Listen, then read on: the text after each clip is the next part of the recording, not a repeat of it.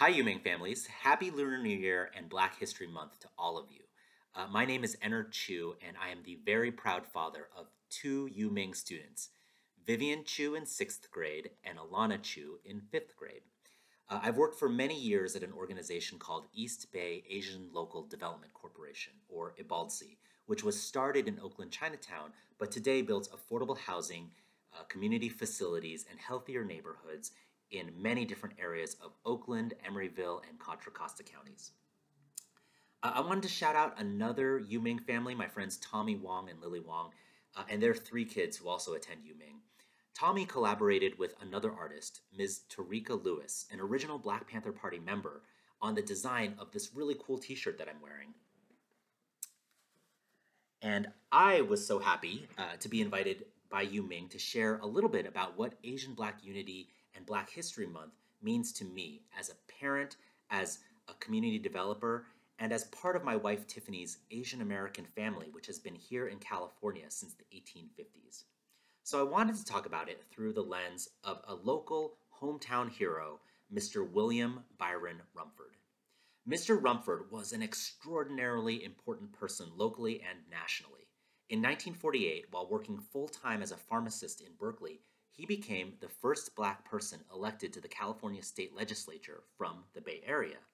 His biggest achievement, though, something that profoundly changed America, was the landmark legislation that he wrote and passed in 1963, which was California's Fair Housing Law and uh, became known as the Rumford Act. His legislation was the foundation for the National Fair Housing Act of 1968. I cannot tell you how important these laws are. Many of our Yu Ming families, whether we're Asian, Black, Latino, or Jewish, are lucky to live in homes that we own. And if you are a multi generational homeowner like my family is, that real estate is the basis for what has allowed us to become middle class or professionals or to take risks as an entrepreneur. It is the foundation of our family's wealth and economic security. But this wasn't something that just happened. People had to fight for it. In particular, African Americans fought for our collective right to own real estate, to be able to buy a home in any neighborhood. California realtors, the real estate industry, and even politicians like the up and coming Ronald Reagan back in the 1960s fought against the Rumford Act and tried to get it repealed after it was passed. They thought that home sellers should have the right to discriminate against homebuyers and refuse to sell to them if they were of a different race. And for many decades, people did that, which denied a lot of families of color from entering into the middle class.